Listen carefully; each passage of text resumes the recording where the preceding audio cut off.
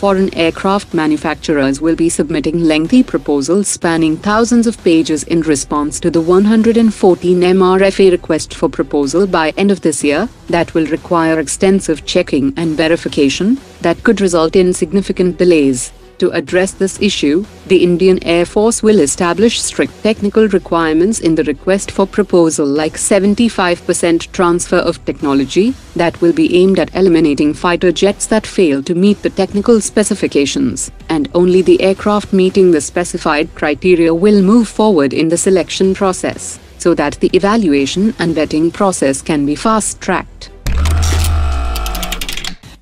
According to a media report, the F414 Transfer of Technology Agreement covers 11 critical areas, but certain crucial aspects such as the metallurgical composition of turbine blades might not be included in the F414 Transfer of Technology Agreement. The metallurgical composition of turbine blades is a critical aspect that directly impacts the engine's performance efficiency and longevity.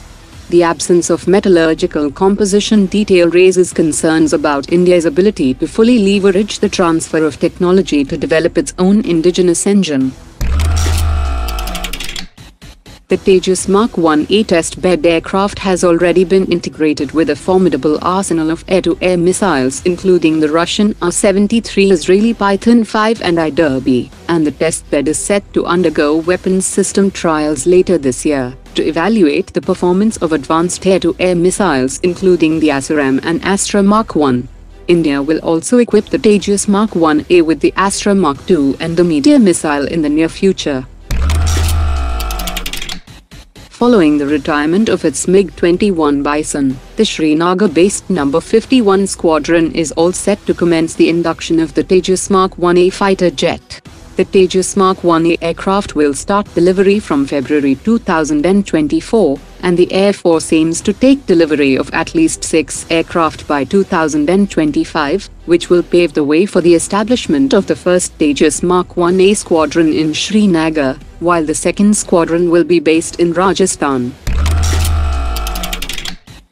Building on the success of Philippine Navy's $375 million BrahMos order, the Philippine Army has now begun negotiations with India's BrahMos Corporation for the procurement of BrahMos supersonic anti-ship cruise missile, and it is expected that an order worth over $300 million will be placed later this year.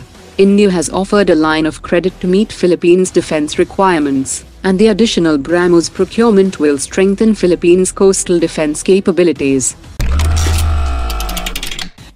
India is preparing to send a letter of request to the US government this week, outlining the specific requirements of all three services, thus initiating the process of purchasing 31 MQ-9B UAVs. Following the letter of request, the US will respond with a letter of offer and acceptance after undergoing a formal congressional notification process that will pave the way for negotiations considering the price and terms offered to other countries. Amid the rapid expansion of Chinese naval presence in the Indian Ocean region, the Australian Air Force's P-8A long-range maritime patrol aircraft has landed at INS Rajali Naval Air Station for conducting anti-submarine warfare exercise with Indian Navy's P-8I aircraft to enhance interoperability and jointness in maritime operations. An India-UK electric propulsion technical workshop was organized in New Delhi yesterday to foster collaboration, exchange knowledge and explore the exciting possibilities in the field of electric propulsion systems. The workshop served as a crucial platform for experts, researchers and industry professionals from both countries to come together and engage in meaningful discussions on the development of electric propulsion for warships. Omar dropped it.